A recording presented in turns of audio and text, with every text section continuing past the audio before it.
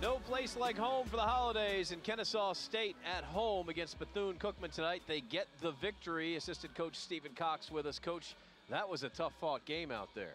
It was. Uh, execution down the stretch was, was just subpar, but uh, we were able to knock down some free throws. I think we were shooting like 53% at like the eight minute mark of his timeout, and then we were able to knock down some down the stretch to win it. So. Yeah, well, all of a sudden when it mattered, that is, uh, that is a key.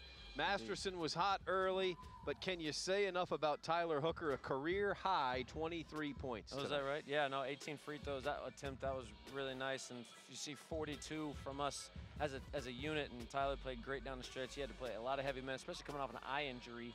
Uh, in the last game, uh, able to tough it out, but but Nick got got it, got, it go, got us going early for sure some quality minutes from Kosta Jankovic as well. And and what do you take away from what wound up being kind of a bruising game for your guys? Was it was a you know they averaged 14, 15 offensive rebounds, which they were right on their average today. I told them, told the guys they just can't get in the high teens, and they had nine at halftime. We bared down the second half. A lot of credit to Anthony Wilson coming off the bench uh, with a lot of production, coming off an ACL injury, being out six, seven months. So a lot of credit to him.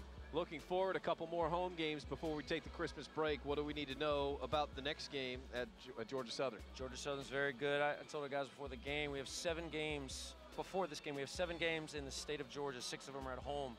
Uh, so get some momentum with, with, with finishing out uh, this one and, and, move on to the next. But, but Georgia Southern's very good. They're very well coached, and and uh, we'll take tomorrow and Monday to prepare for them five players in double figures tonight. A nice offensive performance without James Scott, one of your best threats. Yeah, that was great. Good to see 18, 18 assists on 26 baskets.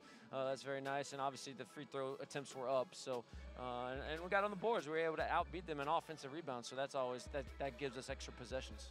Home games coming up Tuesday against Georgia Southern and then Friday, uh, Thursday against Samford. That's good whether it's a football schedule or a basketball schedule. Indeed. Uh, it'll be a, a, a, packed house here on Tuesday. Come out and support your Owls. There you go. Well said. Congratulations on the win, Coach. Thank you. Go Owls.